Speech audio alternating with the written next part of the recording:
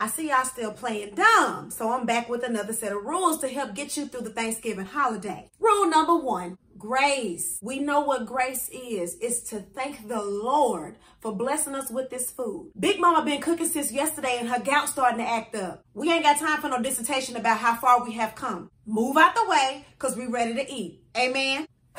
Rule number two, please don't go spend no unnecessary amount of money on no Thanksgiving outfit. We finna be sitting around the house eating, playing cards, and drinking. Wear something comfortable with elastic in the waist. And quit walking back and forth. Ain't nobody looking at you.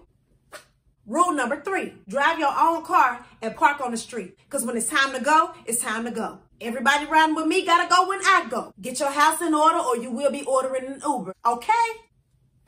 Rule number four, if you didn't bring nothing, don't take nothing. See, you don't got comfortable because you seen Big Mama go in the room and go to sleep. All them to-go plates you trying to fix, shut that down. You ain't paid for or contributed to not a nan dish. You can to-go, but them plates, they going to stay.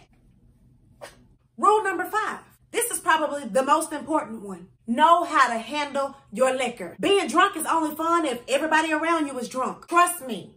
You don't want to be in a group chat tomorrow throwing up on the porch or peeing in the driveway. Ain't nothing wrong with having a little fun, but let's all govern ourselves accordingly, okay? Because I put you out. I will put you out.